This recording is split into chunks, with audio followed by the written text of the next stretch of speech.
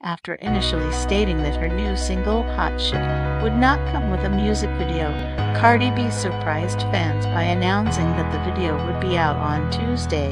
She previously stated that she was over people only wanting to do things their way when it came to her music videos, as a reason why the song didn't have a video when it was released.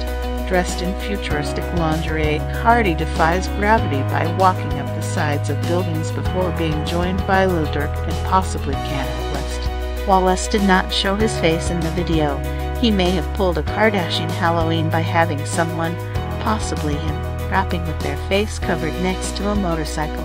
Maybe Durk is cosplaying as West. Maybe West is directing his doppelganger behind the camera. Maybe it's West himself. We don't know. The person has a mask. It's impossible to tell. Exclamation points aside, Cardi, at least, was finally able to create something her way, even if other unnamed parties didn't want to get with